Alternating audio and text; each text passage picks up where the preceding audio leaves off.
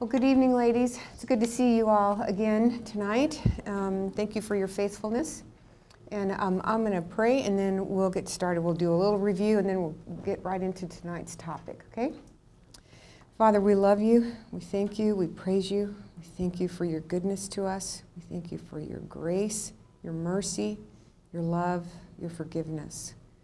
And uh, Lord, this is a a heavy topic, a serious topic tonight. Really help us, Father, to be humble and teachable before you. Um, we want to honor and glorify you in all the things that we say. So please help us. And we thank you, Father, in Jesus' name. Amen. Okay, so everybody's got handouts. so, what did we talk about in week one?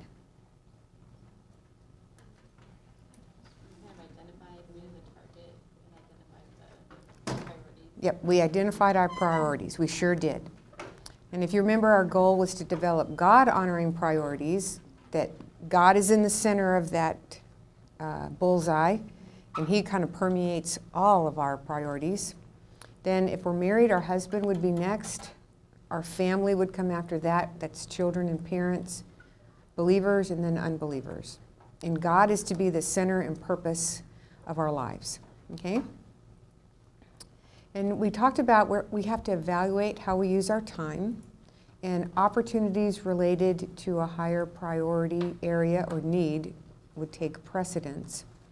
And we also need to have an eternal view of time. We have to think long range. Um, God has an eternal view. God wants us to be industrious and effective, seeing what needs to be done and working hard to accomplish it. Using our time wisely will require God's help and proper planning. And we also want to remember that our schedule is not what we're bowing down to. It's a tool for us to use. It doesn't dictate everything we do. Then, um, then we talked about the heart. We talked about that last week. God says that the heart is the control center of our life. We have to keep track of what's going on in our hearts. And our outward actions should come from a pure heart that's fully committed to God and His agenda. And our thinking has to be transformed by the truth of God's Word. Sins committed in our thoughts are just as real as sins committed physically. And do you remember we really dissected Philippians 4:8 last week. We said, Finally, brothers, whatever is true, whatever is noble, whatever is right, whatever is pure, whatever is lovely, whatever is admirable, if anything is excellent or praiseworthy, think about such things. And do you remember, I kind of gave you a picture of what I do with thoughts. Do you remember what I told you? No.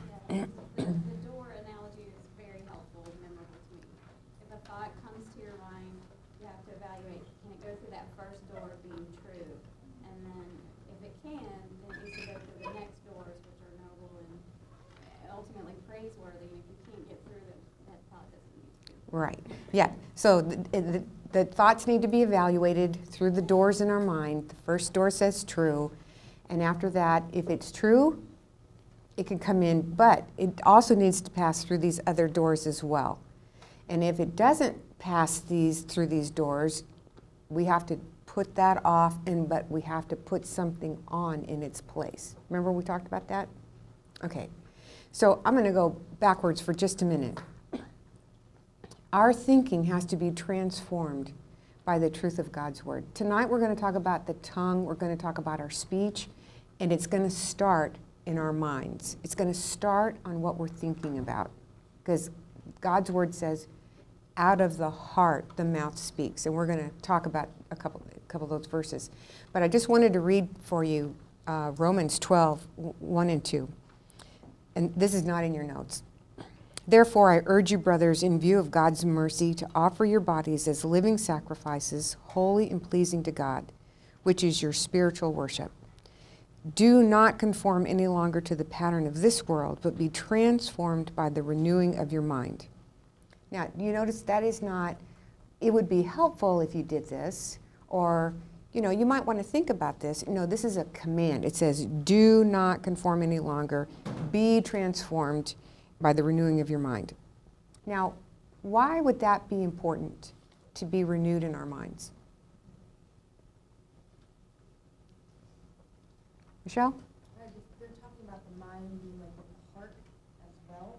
Yep. And I would think that, you know, everything that comes out of us, our thoughts, our actions, our thinking, is all controlled by our heart. Yeah, everything's controlled by our heart and our mind, right? Yes. So that's what Michelle said that, you know, everything that comes out of us is going to come from someplace within, from the heart, the mind, within.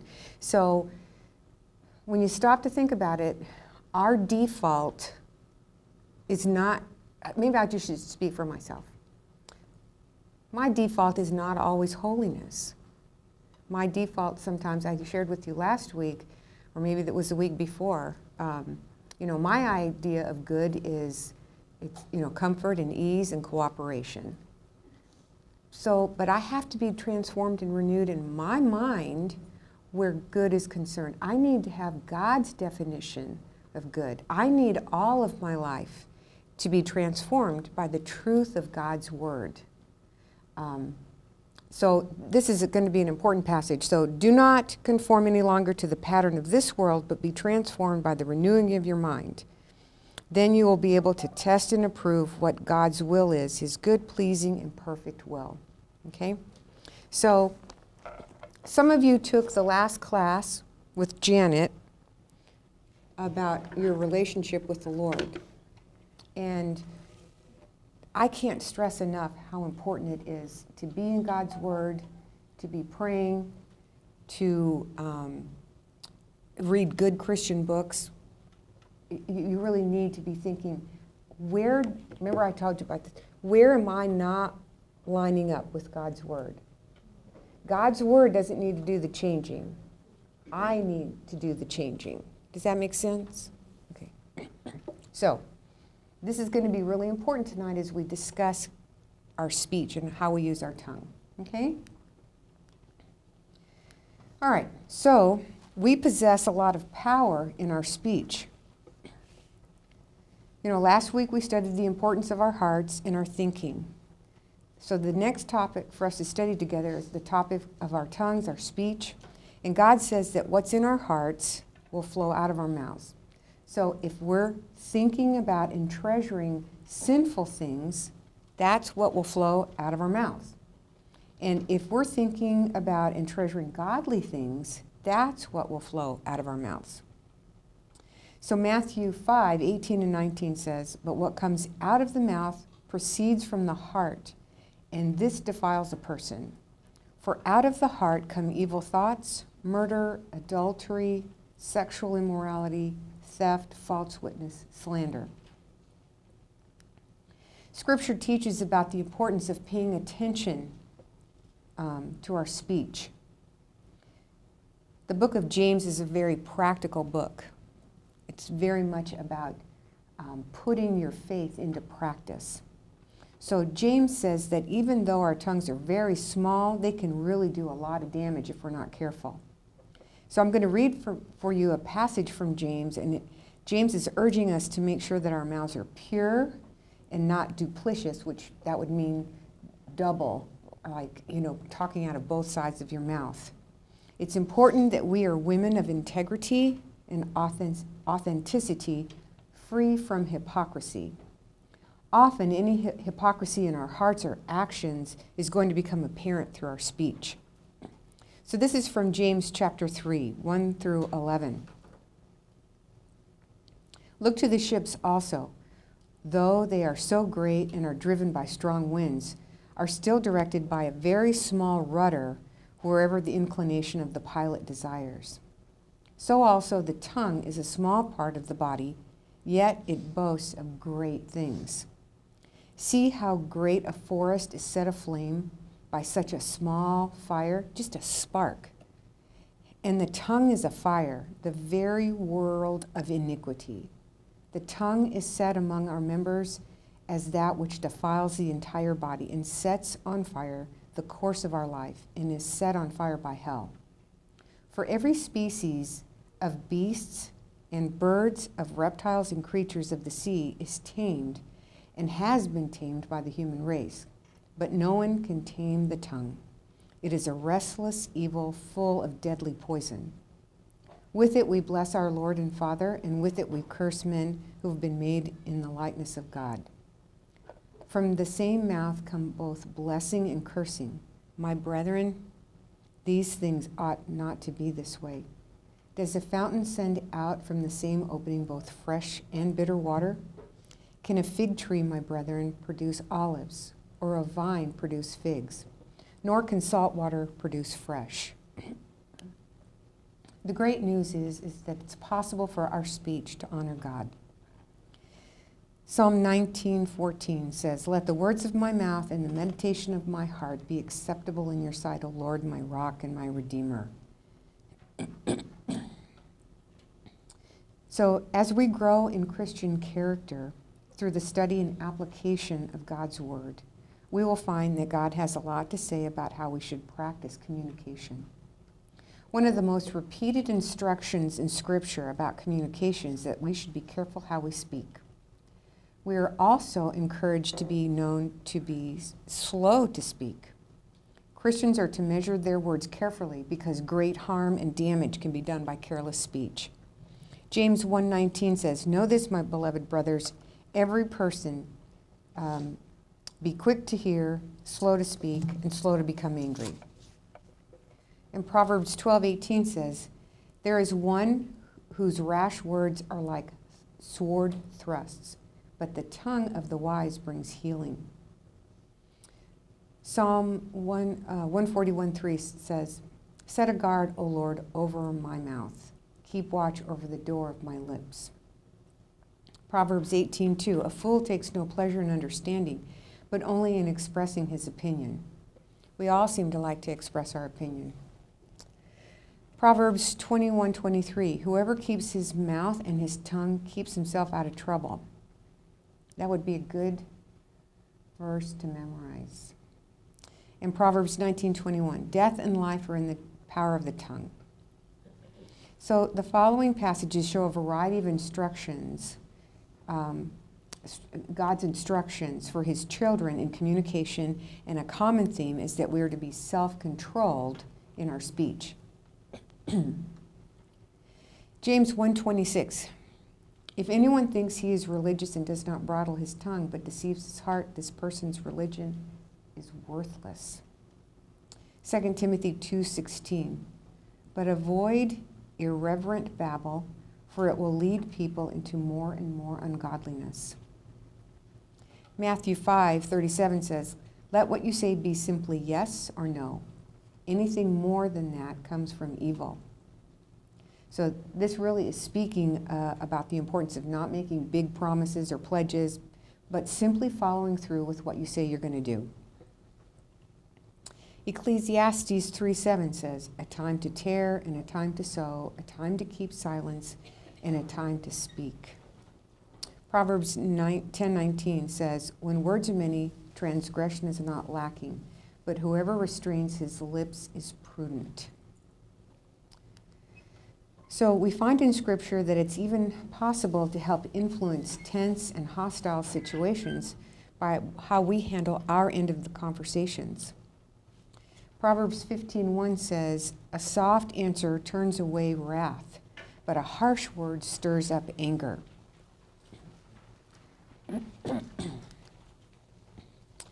so God says that out of the out of the motive of love for him and others, we should carefully craft our end of the conversation so that our words are a benefit to the people who hear them. You know, sometimes it's challenging, which means we're going to need to be fully engaged mentally in each conversation that we have. However, this does not mean that we practice manipulation in our conversations. There's a big difference between carefully crafting a conversation to bring good to the hearer and carefully crafting a conversation to benefit ourselves. Colossians 4 6 says, Let your speech always be gracious, seasoned with salt, so that you may know how you ought to answer each person. Ephesians 4:29. Um, I memorized it in the NIV, so mine's a little bit different, but it says in, in the NASB, "Let no corrupting talk come out of your mouths, but only such as, as is good for building up, as it fits the occasion, that it may give grace to the hearers." In the NIV, it says, um, "Let no unwholesome talk come out of your mouth, but only what is helpful for building others up according to their needs, that it might benefit those who listen." That was transforming for me when I memorized that verse and I prayed that verse every day for myself. It really helped me think my words really do matter.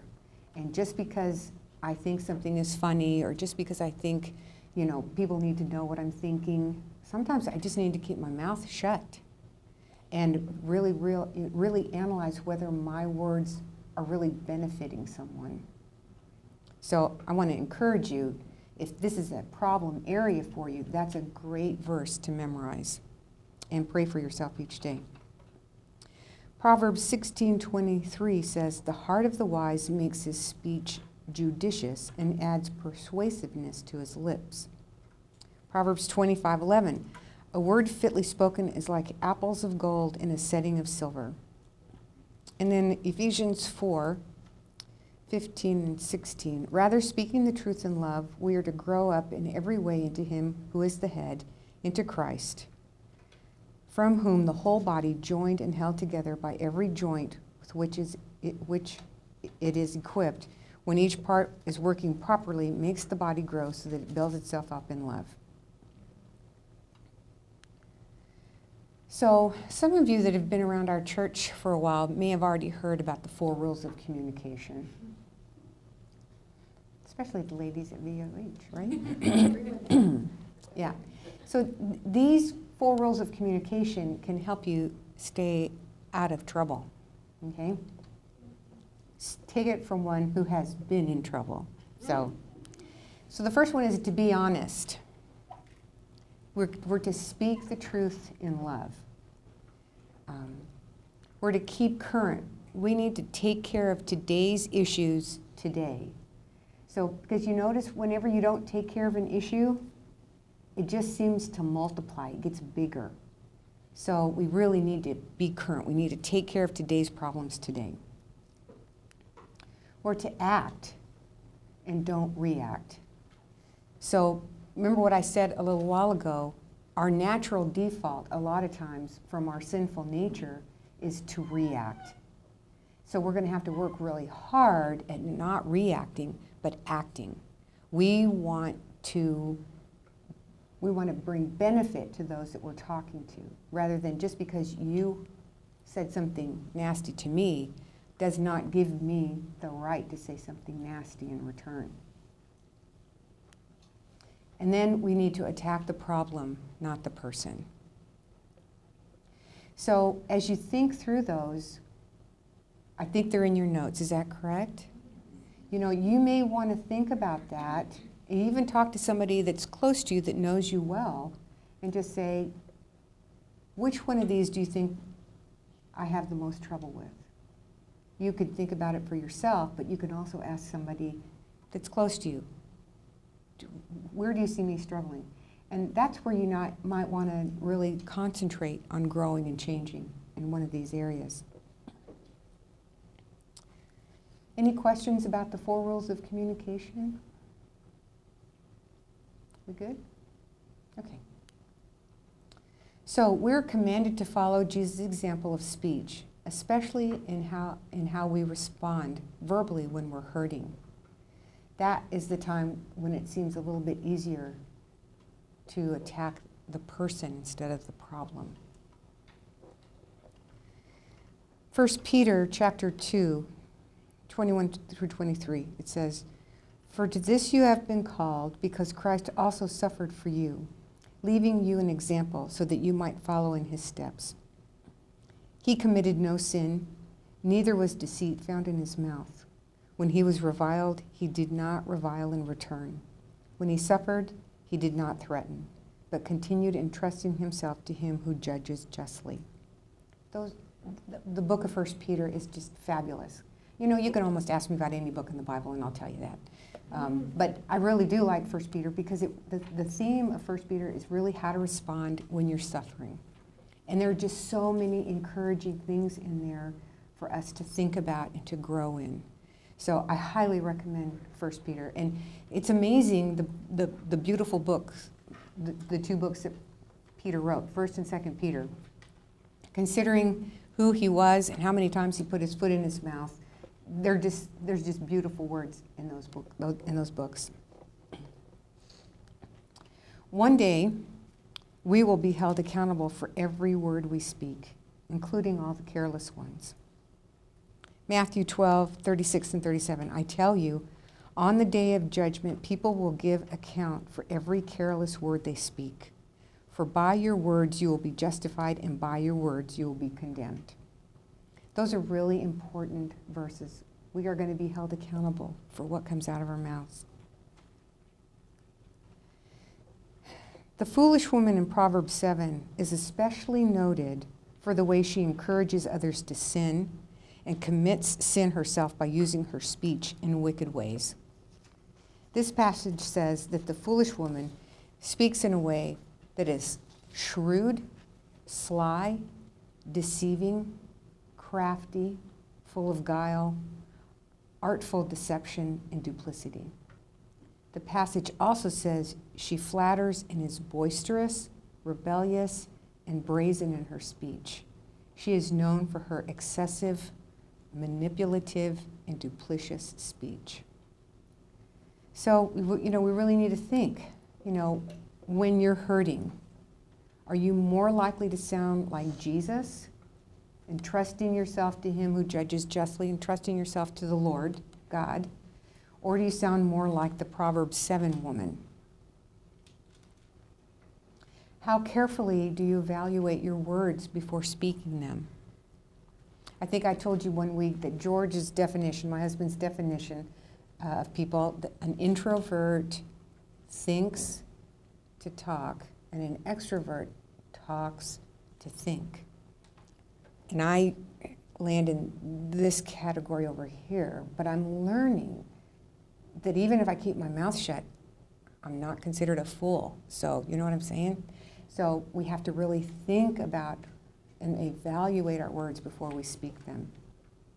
So, that passage that I just read to you from Matthew 12, that we're going to have to give an account, in what ways could Matthew 12, 36, and 37 have an impact on your speech? Knowing that one day God's going to ask you about those things. Something to think about, right? So, right now, we're going to, and I think everybody did, got a, uh, that handout, that one that's yellow. So, we're going to take um, a few minutes and you're going to complete a, a personal self evaluation of your speech. It'll take about 10 minutes and then we'll get started again. Okay? What did you think about this quiz? Aren't you glad I'm not asking you to share your answers? huh? It is telling. Very thorough, I thought. It's by Mary Kassian. She wrote a really wonderful book called Girls Gone Wise in a World Gone Wild. An excellent book. So, how are you impacted by this quiz?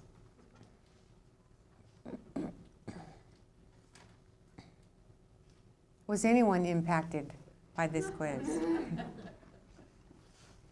oh. Yeah, how were you impacted?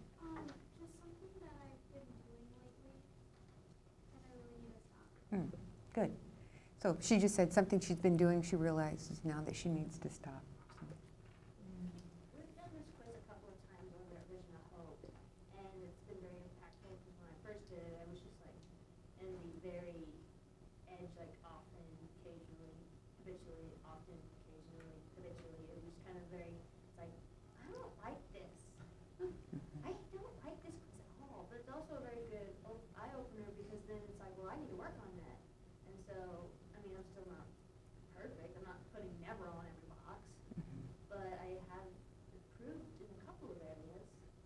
Good. So it's been very eye-opening to me in that sense. Good.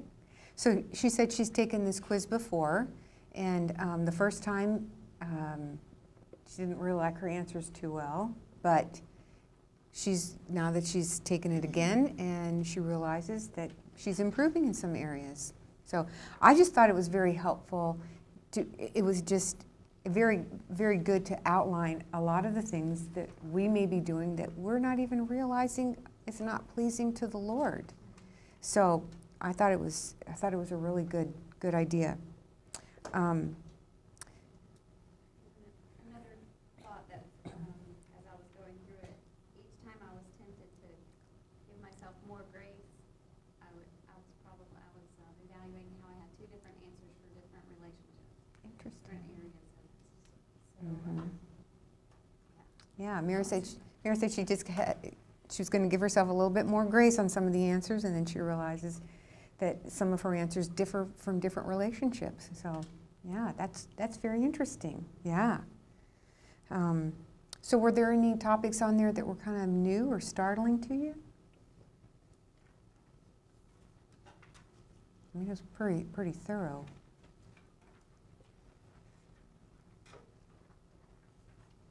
So you might want to think about looking this over and figuring out one or two areas that you want to tackle at a time. I find that I don't make a lot of progress when I want to change 10 things at one time. You know what I mean? So, you know, pick out one or two for a week or two and work on that, and then pick out another couple to work on. Does that make sense? Okay? Then something else to think about,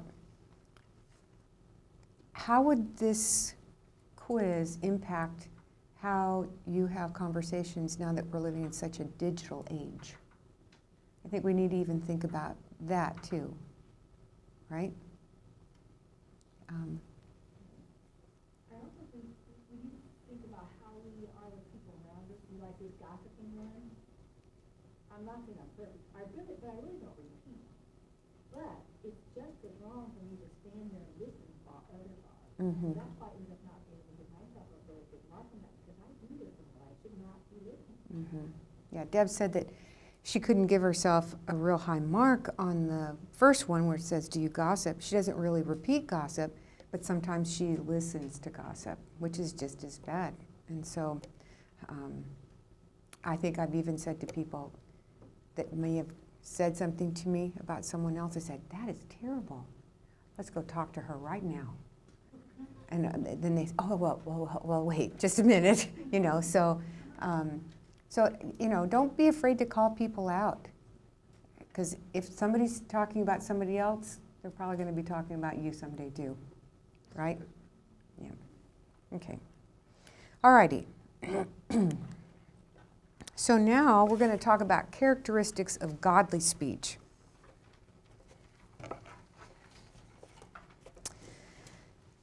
So, um, beyond the instruction of ways that we are not to use our mouths, there are many commands about how we are to speak. Although there are many more commands God gives us about speech, the following are some of the positive characteristics of speech God commands His followers to have in their communication wisdom and justice. Psalm 37:30 The mouth of the righteous man utters wisdom, and his tongue speaks what is just. So let me ask you this question How do you grow in wisdom? I think we all want to be wise, don't we? Right? Tricia, what, what do you think?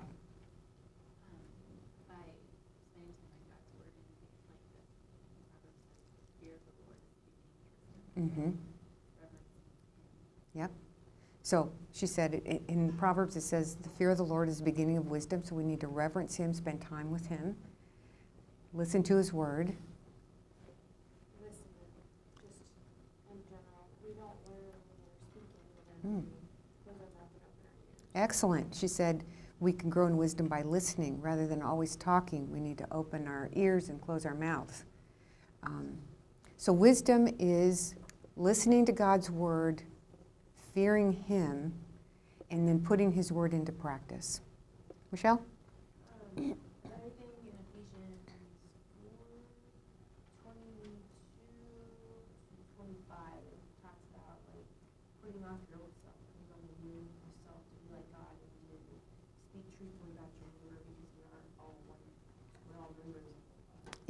So she's talking about the put off and the put on from Ephesians 4 22 through 24, I think. Yeah. Yeah. So, yeah, that's real important.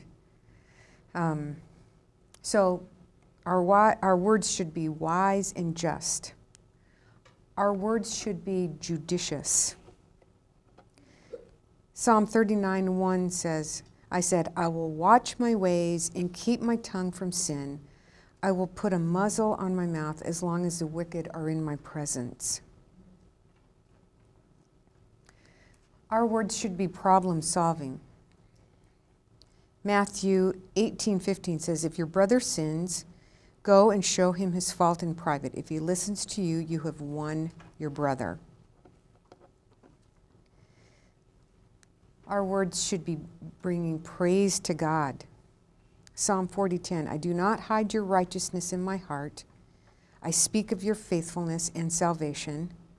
I do not conceal your love and your truth from the great assembly.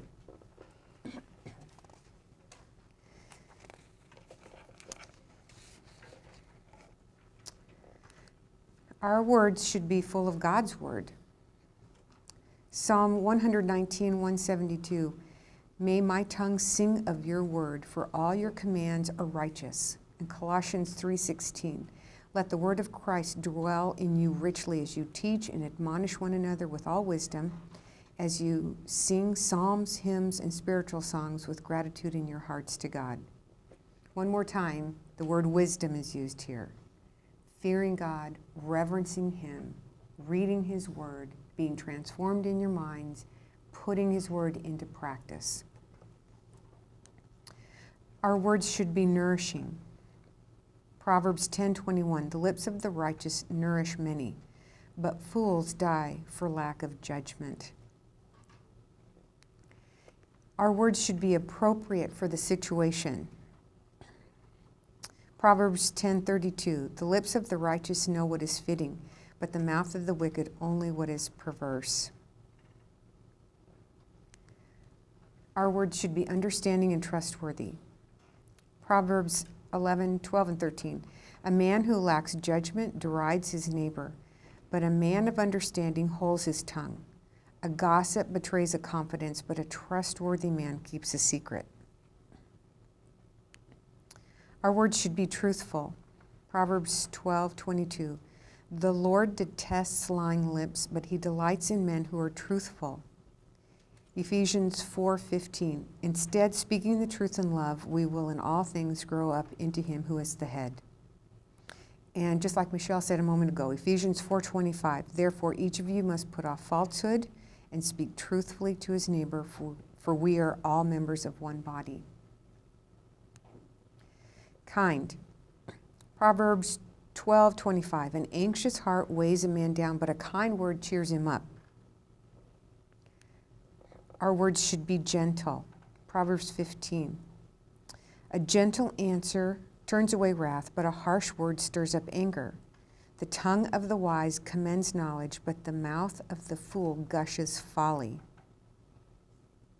Our words should be pleasant. Proverbs 16:24 Pleasant words are a honeycomb, sweet to the soul and healing to the bones.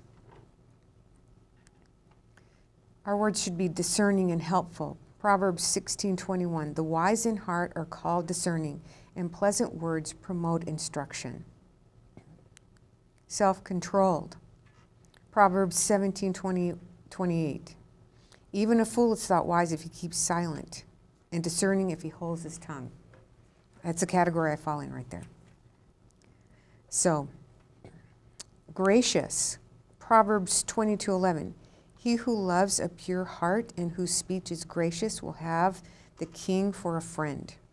In Colossians 4:6, let your conversation always be full of grace, seasoned with salt, so that you may know how to answer everyone. Our words should be beneficial.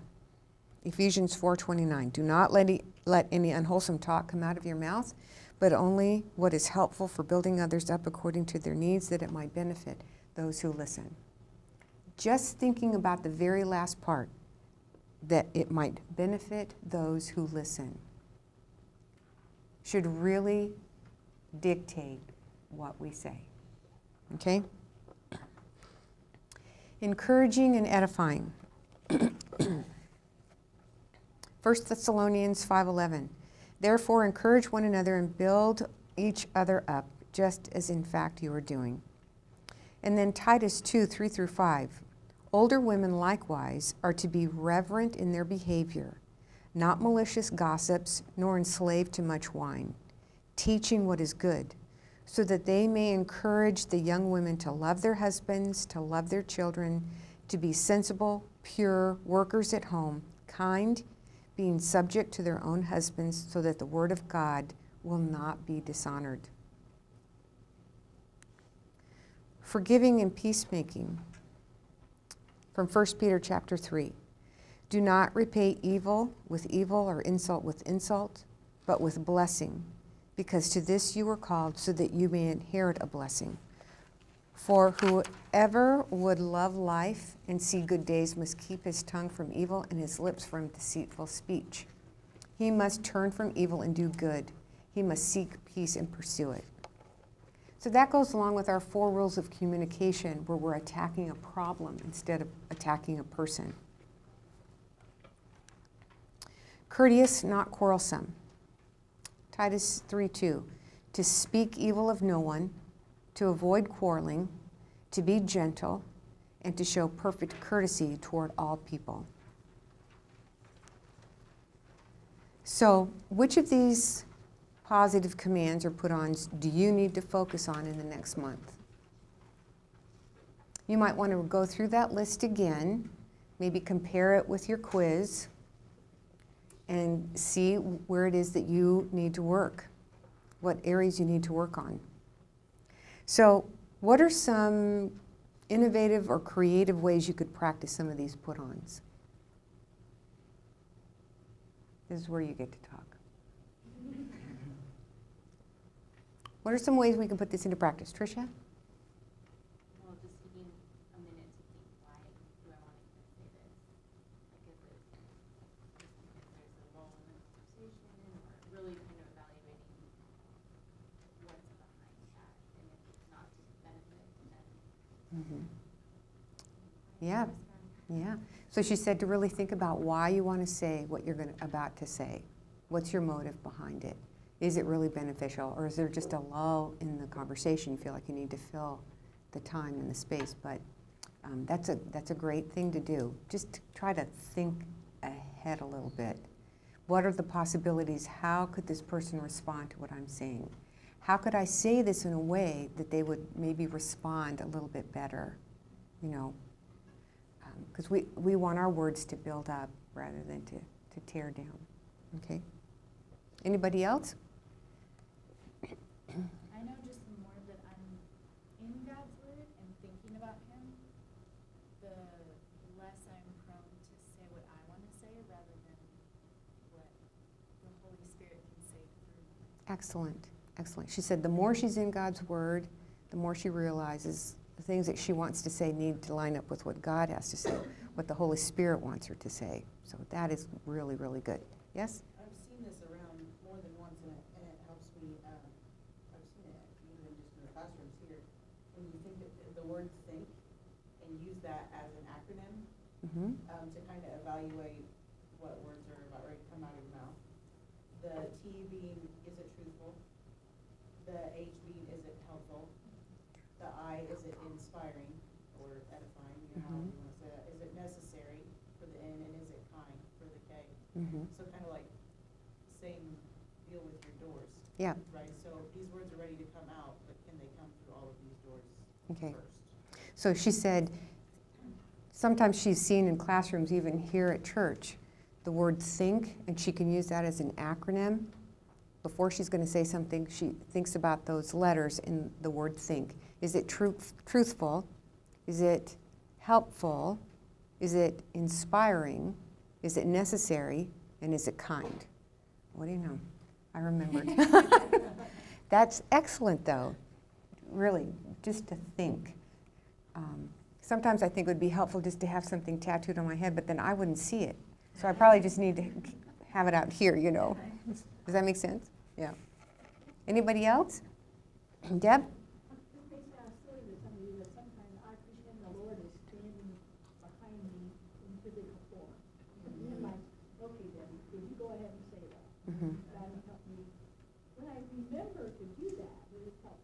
Mm-hmm. Yeah, Deb says that sometimes she thinks about if, if the Lord were standing physically right there behind her, would she still say what she's about to say? And um, I really appreciate what this young lady in the front said because if we could just be in tune with the Holy Spirit, and the Holy Spirit usually will tug at me like, don't even go there, Bev, don't even go there. And sometimes I heed and sometimes I'm sinful and I don't heed. But when I do, I'm always so grateful that I did. You know what I mean? So, Tricia? Um, I had a friend who noticed that she was speaking like, like kind of nagging with her husband, and so she told me they were out going on a road trip, and she was nervous. She's like, she was just made of, like, she just kind of, her eyes were open to that Mhm. She said that she was just going to only speak what was thankful or pleasant on the road trip, and she said, it went over. Oh, good. But just like she, you know, God opened her eyes to see that, Mhm. and then gave her an opportunity where it was like she had time to think through Mhm. every thing that she wanted to say because they were in the road trip and Mhm. just how.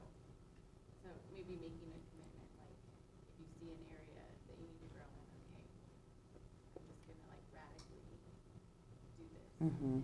that. Yeah.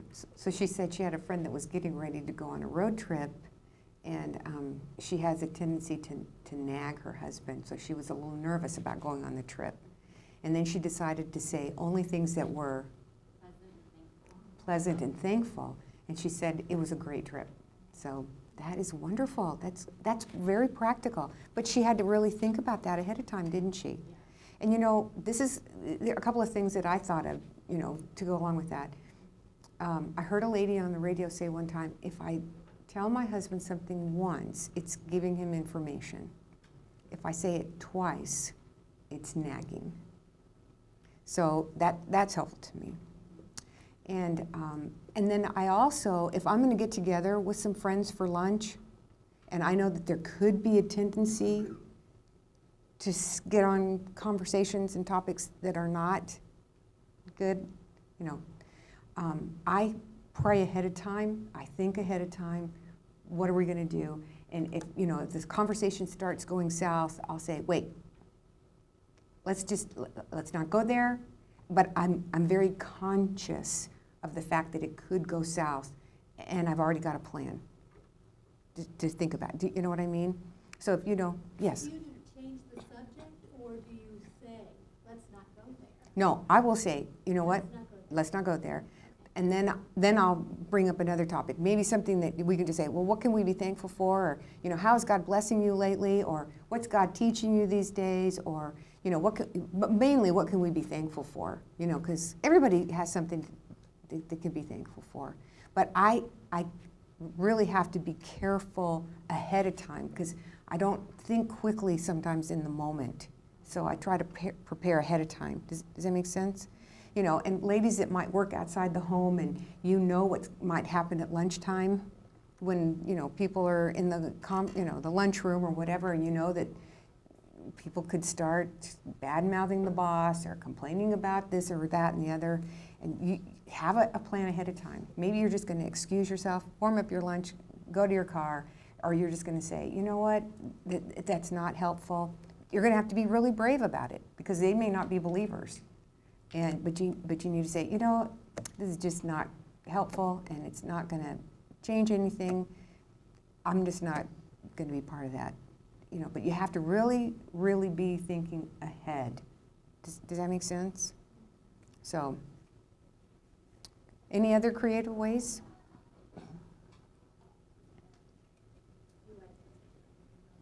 Uh, um, I- I- it's harder for me to look this way. I don't know why. Go ahead. I find it very hard to just think, you know, on the go.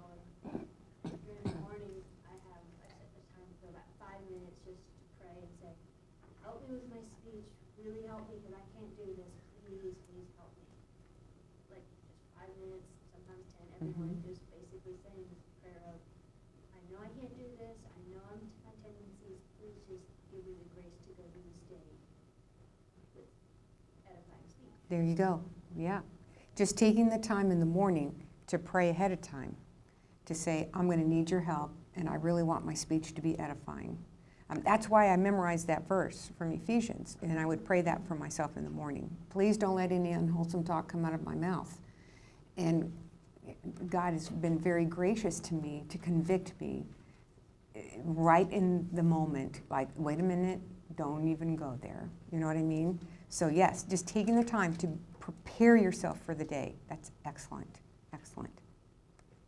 I like what she said, and what, what that does is it reminds yourself also that when you do succeed, it's to God be the glory. Mhm. anyway, Yeah. because We are unable to do these things. hmm That's right. Yeah. So when we succeed, God does get the glory because in and, oursel- in and of ourselves, we're going to mess up every time. If we really know ourselves, and we do, we should know ourselves, that we're wretched. So, yes. Anyone else? Maybe on this side of the room? Something else too that is hard to do, uh, if if you want somebody to help you stay accountable with your speech, it's going to have to be the people that are closest to you. Um, which is sometimes more difficult, I think, to accept that accountability from somebody in that situation. But other hand, the flip side, it can be very, very helpful for that particular relationship, whether it be your husband or, you know, um, one of my children definitely is old enough to even be my accountability partner in that because he has the same struggles with battling as much as I do. So, um, he's more extroverted and I think he talks and things just like I do, right? So, you know, having him, me being open with him and saying, listen, bud, I know that this is a problem that we both have. Mhm. If we can hold each other accountable, that can be, I mean, it's in your face every day, whether it's with your kids or if Mhm. your husband, you know, if you ask him for that help or your parents. Mhm. It can be a, it can be a growth thing for your relationship as well. Yeah, yeah. So she said, if you really want to grow in this area, the people that are closest to you probably need to be the people that are going to hold you accountable, uh, especially the people in your own family. And, um, you know, you- you shared that sometimes that happens in your family. It happens in all of our families. We can get on a roll, you know. Um, and the holidays are starting to come, you know. That's another time when things could go south. Um, but one thing you could do as a family is you could sit down and talk about maybe these four rules of communication and just say, you know, I've messed up, you know, take, take personal responsibility for your own mess ups. And not, you're not attacking them, you're just attacking the, fa- the fact that I've messed up, we all mess up, and we really want to glorify and honor God in what we say. So, you know, as a family, I'd really like to see us try to, you know, be honest and keep current and attack the problem, not the person, and act and don't react. And, and just kind of brainstorm, and you might even want to get together at the end of the week and say, well, how did we do? You know, what are the areas that we succeeded in? What are areas that we're going to need to work on? Um, I, I just, I think a, a, a family affair, I, I think would be helpful. So, right? Especially with the holidays coming and more people in your home. I mean, the young children love that. I remember years ago when my daughter was in grade school, the driver cut me off, and I'd yell, you idiot, idiot. So later on, I'm asking my daughter's forgiveness for that. Mm-hmm. Well, it wasn't even a week later, some guy did the same thing, Michelle says, Mom, don't do it. Mom, don't do it. Oh, good. But, but it's good for them, you know, because they, they, it helps them, and I think it actually helps her a little bit in terms of being sensitive to her words, but also them know that it was okay, because mom. Mhm. You know, because that's what the Lord wants us to do. So This is one time I did it right, guys, I wrote that about it. This Mhm. is one time I did it right, but you Mhm. know what I'm saying. Yeah. But that, that really, I don't think, that- I mean, as I, as she got older, I realized how much those times when I did the things correctly really helped her. Mm-hmm. Yeah, yeah. So she said her daughter, you know, called her out sometime when um, she was driving and she said something that she shouldn't have about another driver and she asked her daughter's forgiveness. And the next time her daughter was good enough to say, wait a minute, mom, you know, and so that was really good. But I think it's really important for our children to see that we have feet of clay, that we mess up too. um, that we mess up and we need to live up to God's standard as well. And we need help. We all need help. Um, the only one that didn't need help was Jesus. And, um, but he stands ready and willing to help us in our, in our times of need. So, excellent. And you know, you might want to. Um, here's another creative idea that I think has been helpful to me. Is um, you might just put some post-it notes or little notes around the house with with certain verses or even certain words that might just trigger your memory. And you know, put the word "think" around the house or. You know, my goal is to please God, and um, that kind of covers everything. You know, my goal is to please God, and um, that just it starts to permeate your thing. It starts bringing God into the picture rather than, oh man, I messed up again. You know, uh, just just some real practical helps. Um, because if I if I'm left to myself, I don't always think that way. That's why I need to be transformed and renewed in my thinking by the Word of God. Um, you know what I'm saying? So. okay. So, or you know, if you're going to memorize verses, you know, you spend some time in the kitchen doing dishes put a verse right there by the kitchen sink or on the refrigerator or on the mirror or if you're sitting at a, at a desk with a computer put, put a few verses around there or just some some words that make you think about what you should be thinking about so um, okay reminders on your phone I, I wouldn't know how to do that but you all would probably know how to do that um, just a little reminder every 15 or 20 minutes what are you thinking just something like that. So, great. All right. now, anything else? Are we ready to go on? Oh. Um, one, I guess, uh, practical thing, um, I have a friend, um, and we communicate through letter writing at this point, even though vision both. But one thing that we'll do is we'll spend time with God first before like we write or whatever. And so that way then our communication is really focused on like what we learned and then kind of going into our conversation through that way as opposed to just delving right into some kind of conversation that might not be edifying to me or to themselves or to somebody else. Unlike that could work with like before you get online or talk to somebody on the phone or just really spending time like learning something about God or learning studying scripture and having that in the forefront of your mind as you do conversations. So our sister said that she um, does a lot of letter writing, and she what she tries to do is she tries to pray before she writes, so that what she says in her letters will be focused more on what the Lord would want her to say, rather than just you know, this happened or you know, or complaining about that or, or whatever. So um, you know, and to go along with that too, it wouldn't hurt to pray before you answer the phone too. Just say, Lord, and you know, now that we have cell phones and we can see who's calling us, you know, and that there, there could be some possibility. Let's just, Lord, please help me to watch my tongue. You know, you know what I mean? So, uh, or emails. Be careful. You know, emails are really risky to say hard things in emails because they can't hear your voice, they can't know your to- tone, they don't, you know, it's just really hard. So, if you have to give somebody bad news, you should really try to do it in person or at least over the phone. I, that, that's kind of the rule at our house. So we try not to give people, too many people, bad news in an email, okay?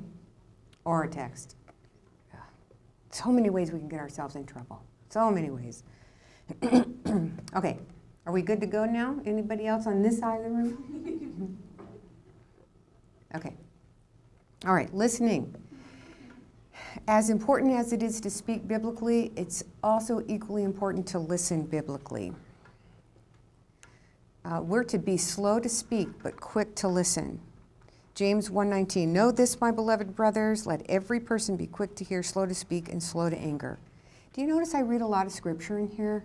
Have you noticed that? But you know what? God's word is so practical. It, my opinion means nothing. God's word means everything. So, okay. Listen completely before speaking. Proverbs 18:13. If one gives an answer before he hears, it is his folly and shame. You hear something, you see something on TV, you hear some kind of report, you're hearing one side. Please don't it says, do not listen to only one person's side of the story when solving problems. There are two sides of a story, sometimes maybe even three sides to a story. So we need to be very careful. Proverbs 18:17 says, "The one who states his case first seems right." Right? Until the other comes and examines him. So we have to be really careful. Um, you know, you can listen to somebody say something, you know, somebody comes and tells you something about Tricia, and, and I'll just get so upset. Like, well, how could Trisha do such a thing? And then I hear the full story, and I feel like an idiot because, you know what I'm saying? So take things with a grain of salt. Don't take everything to be biblical truth until you hear all sides of the story. And you know whose side you need to land on? God's. Okay? all right. Listen to wisdom and accept teaching and correction. Don't accept the teaching of someone in your life who is not wise, or you will become tainted by their foolishness. Proverbs 19:20.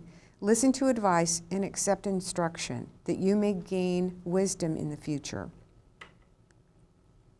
Train your ears to be quick and attentive to listen to the right things.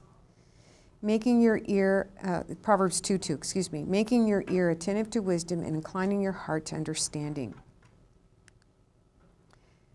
And pay attention to how you listen. we don't want to be half hearted we don't want to be skeptical, but we do want to be engaged. Mark 4:24 says, and he was saying to them, "Take care, um, take care of what you listen to." Okay. Listening to someone else sinning is just as wrong as speaking sinfully yourself. That means listening to slander. Proverbs 11:13. Whoever goes about slandering reveals secrets, but he who is trustworthy in spirit keeps a thing covered. Listening to gossip. Proverbs 26:20 Without wood a fire goes out, without gossip a quarrel dies down. Proverbs 18:8 The words of a gossip are like choice morsels. They go down to a man's innermost part or li- listening to general wickedness. Proverbs 17:4 An evildoer listens to wicked lips, and a liar gives ear to a mischievous tongue. So, ladies, what makes listening so difficult?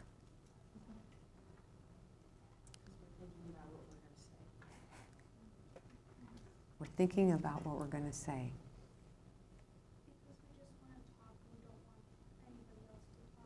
Mhm. Story. Yeah, people like to hear themselves talk, don't they? Yeah, we do. We like to hear ourselves talk.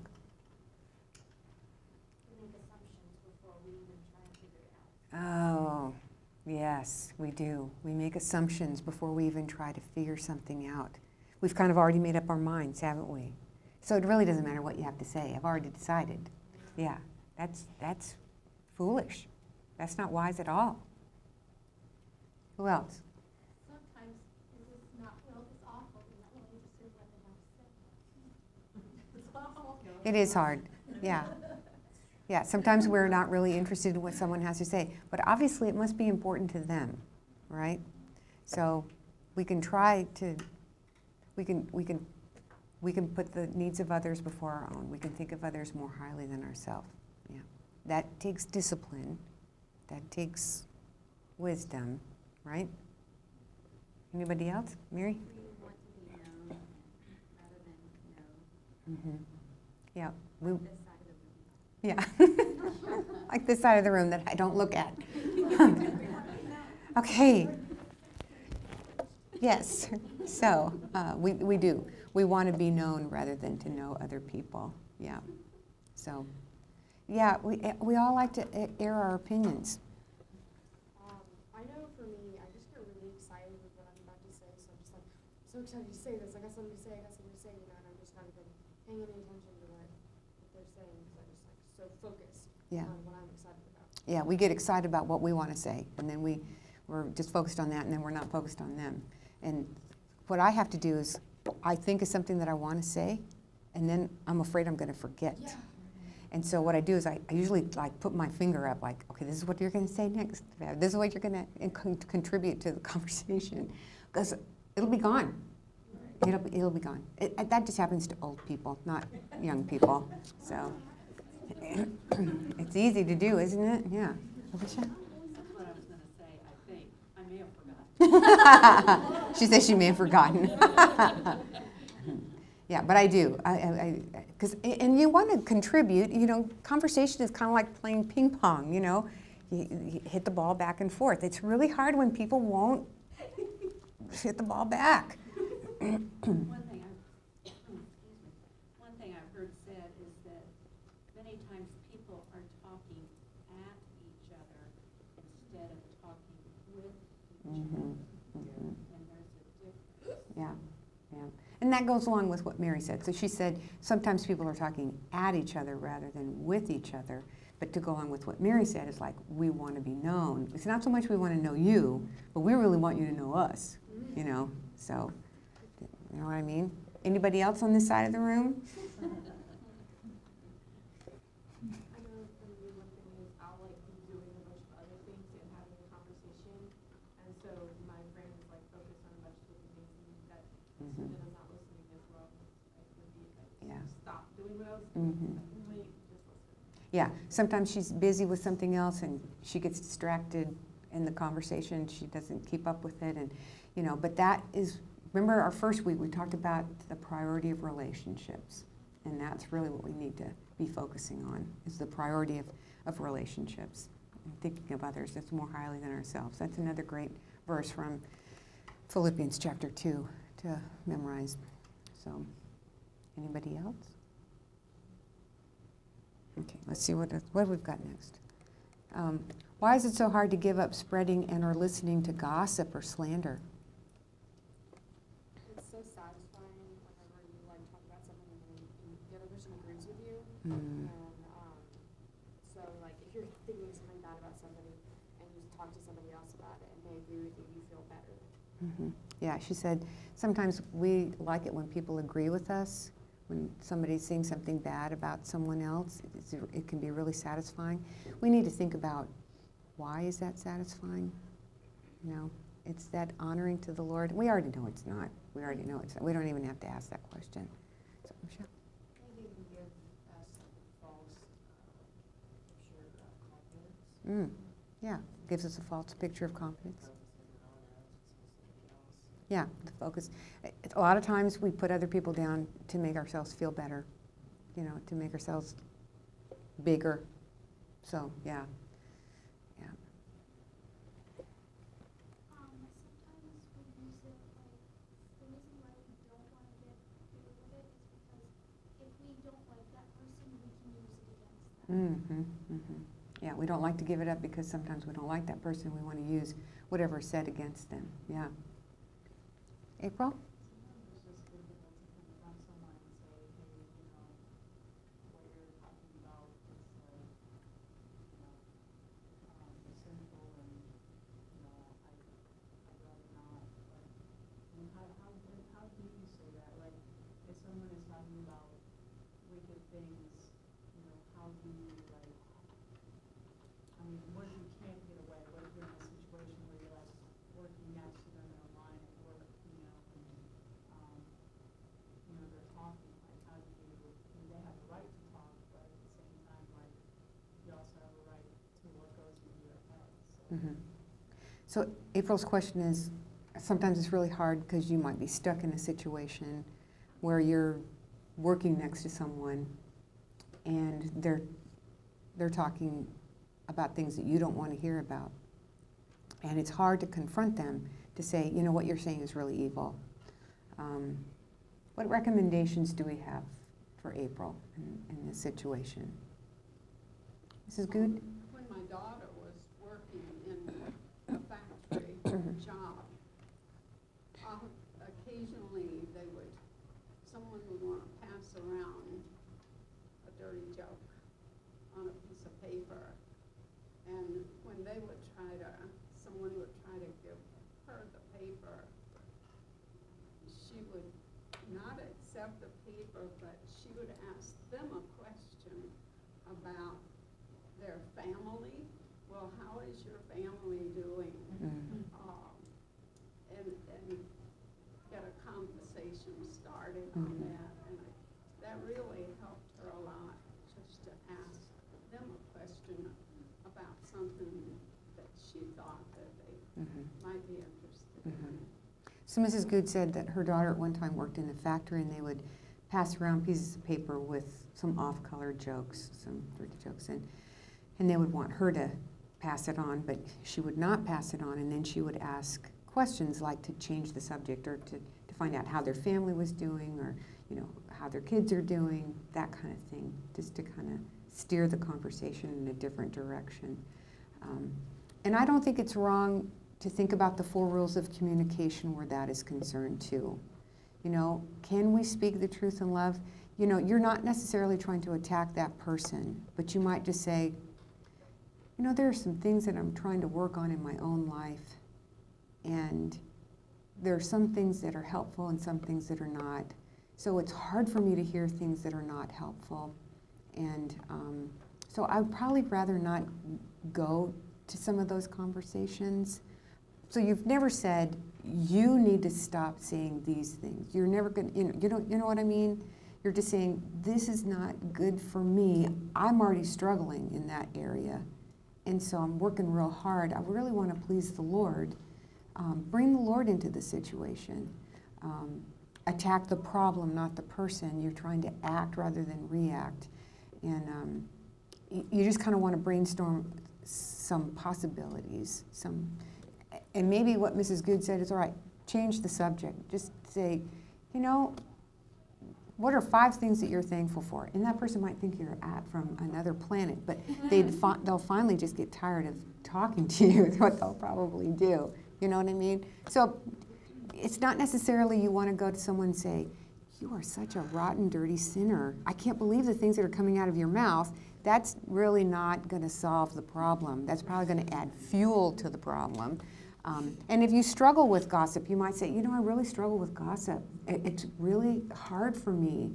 So, you know, hold me accountable. If you, you know, go to that person that's gossiping a lot. Go to that person to say, You know, I'm really struggling with gossip and will you just please hold me accountable when I, when, you know, if you hear something come out of my mouth, and there's, they're gonna be more aware, right, of what's coming out of their mouth, maybe, we would hope, if they took the hint. So, you know what I'm saying? So, we're just trying to be proactive. Alicia, Alicia? Well, and I think also, if whichever response you might choose, um, both of you have mentioned good ones, but if you're gracious, and as you say, Mhm. you're not attacking them, Mhm. and, and then, you know, who knows, maybe somewhere down the road, they're gonna have some difficulties in their life, and they're going to think of you perhaps as someone that they could speak with. And trust. Yeah, yeah, that's right. So, Alicia said we just need to be gracious in how we talk to people and um, not attack them. And sometimes they may even later on have, if they're having problems, they'll know that they can come to you. Yeah. Um, one thing that I do at work is I, uh, with anybody, I always ask myself, am I willing to say that to their face? Am I Excellent. willing to be accountable for what comes out of my mouth? Mhm. If I saw them, I was actually sitting there having a conversation, and a lot of, like, the girls know at work that I won't say anything that I'm not willing to back. And I think that, that guards me Mhm. from stirring trouble, but it also guards like the other people. They know that they can trust that Mhm. if I have something to say, I will come to them and approach them instead of talking with Yeah. everybody else about it. Yep. So she said um, she's made it at a point, she's made a point, and she's even told people that I will not say anything that I wouldn't be comfortable saying in some in somebody's presence to their face. So I, that is a great rule of thumb. That is a that's a great thing to, to think. Would I say this to somebody's face? So, Michelle. I think if you're like working around maybe a bunch of unbelievers, and it's kind of hard to go to an unbeliever and say, oh, people are saying this are edifying for God.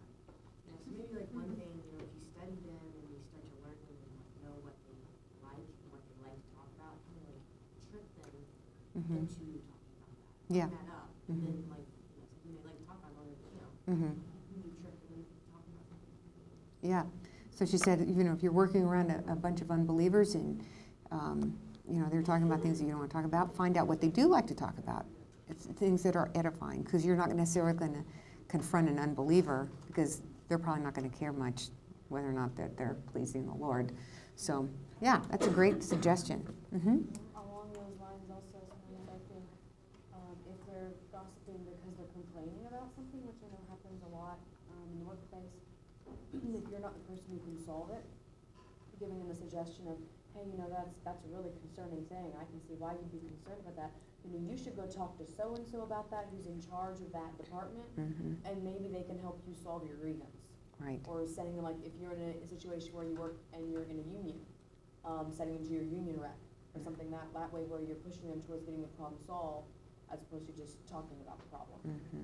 Um 'cause I know sometimes when somebody's talking and they're gossiping, and especially working with unbelievers, they have a legitimate concern, they just have no idea how to solve it. Mm-hmm. Um, or they do have an idea how to solve it, and they just don't wanna have the courage to take the steps to go actually do it, and maybe the push from you of, hey, you know, maybe we should go talk to so-and-so, because they're in charge of that, and they could help you with it. Mm-hmm. Whereas I can listen, but I'm not gonna be able to help you with it. Yeah. So she said if coworkers have complaints about things at work, um, help them to figure out the chain of command that they should go to. You know, if they've got a legitimate concern, then there should be somebody, a supervisor, a manager, a union, if it's, you know, a union kind of place, how to solve that, because they probably don't know what to do. So, so you want to um, say that is a legitimate concern, when it is a legitimate concern, and then just say, you know, let's figure out how to solve this problem. So, excellent. Because people don't know how to solve problems. They know how to complain, but they don't know how to solve problems. Okay, so in what ways might you be guilty of listening to general wickedness? That's something that you can be pondering about.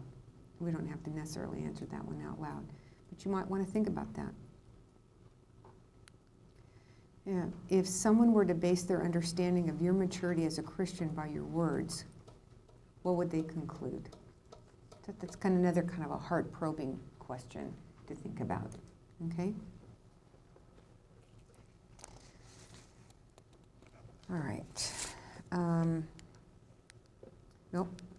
I have one more question. How does biblical listening impact our involvement on social media?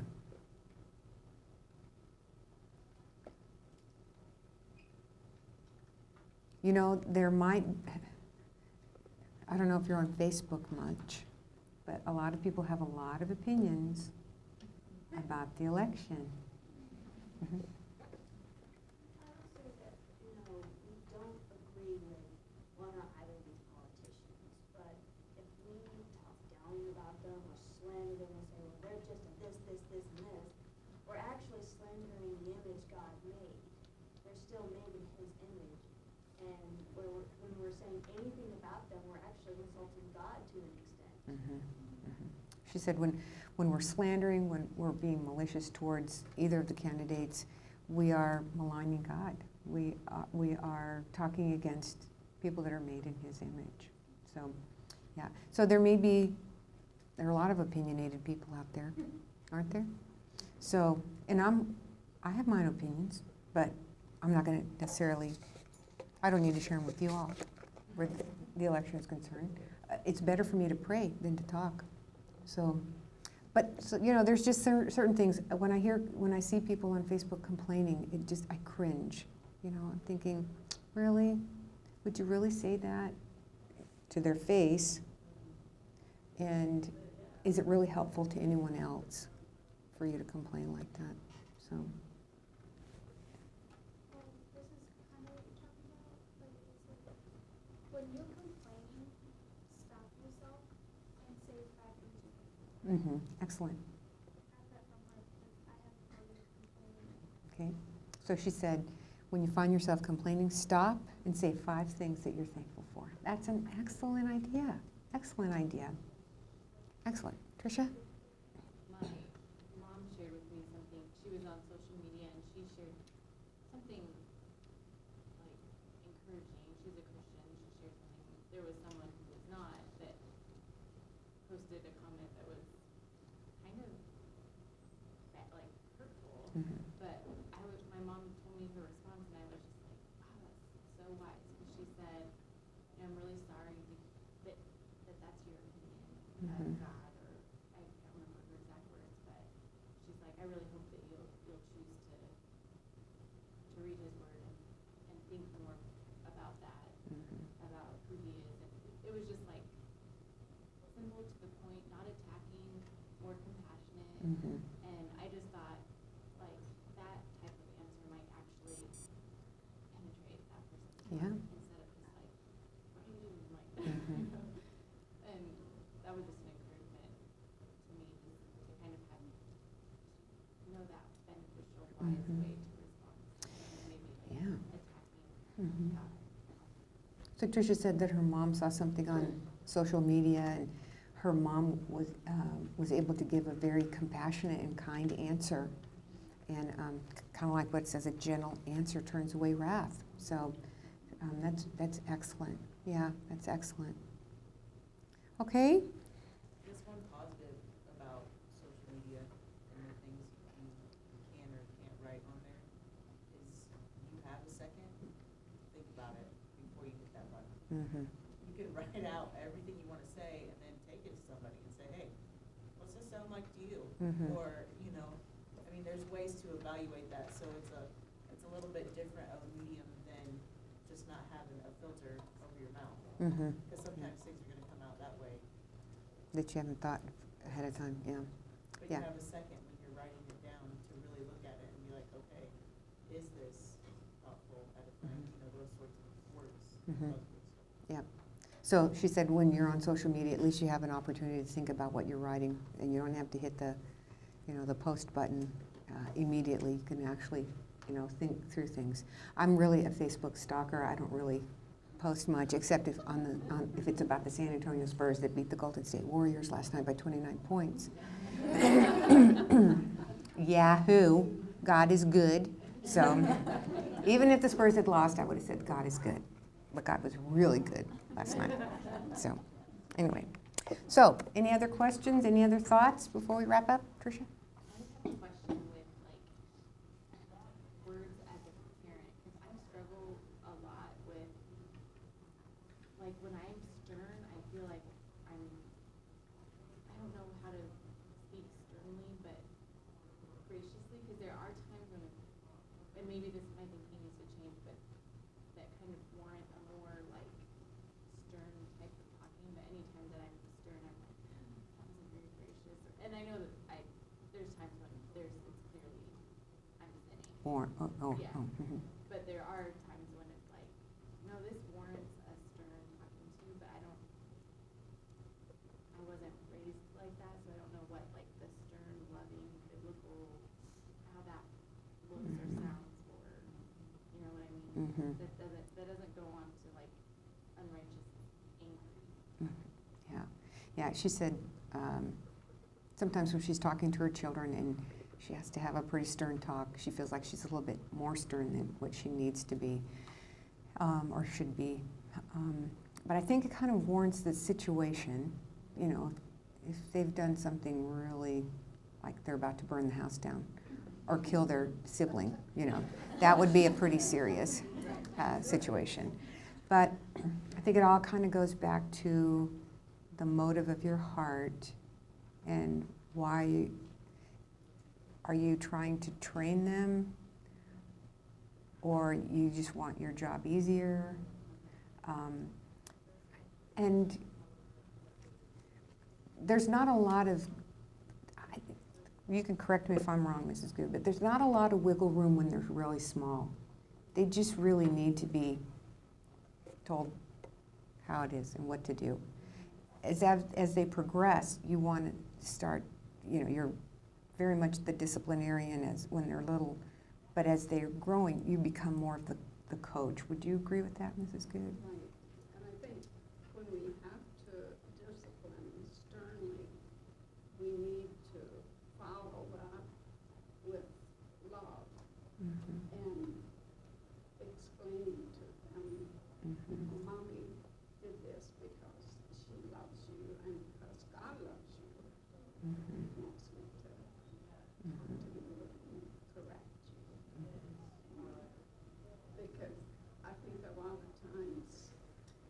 physical touch is so very important after we have had to discipline Mhm. their strength. Yeah. And Maybe as they get older, it might not be as valuable as it was when they're. You know, very my, my boys are 24 and 26. And I still give them kisses. I still hug them. I do. They may not like it, but that's too bad. you know? That is. That's just too bad. But yeah, so, you know, Mrs. Good said to, to, to follow it up with, with love. And, um, but a lot of times I think I, get in, I would get impatient with the boys because I was afraid that they were going to make me look bad as a parent and that, that I had unrealistic expectations. You know, I had to really think through. Um, you know, failure is the back door to success. That's the way I look at it. I'm going to mess up. I'm going to repent. I'm going to ask for their forgiveness. They need to see I have feet of clay. And hopefully I'll do it a little bit better the next time. And it's amazing how resilient children are. You know, it is amazing how, and how forgiving they are. And you know what? I don't remember the times my mom was really mad at me. And I, she had plenty of opportunity to be mad at me, you know, but we don't really remember those times, do we? Hopefully, not too much. So, okay, well, let me pray. I'm, I don't want to keep you all late. So, Father, thank you. Thank you that you've given us so much direction in your word about how we should talk and how we should communicate with people and how we really need to watch what our tongues say and what's going on in our own hearts. And um, Father, I pray that your Holy Spirit would really teach us, that we would be humble before you, and that we would um, want to honor you and glorify you in all that we say, all that we think, and all that we do.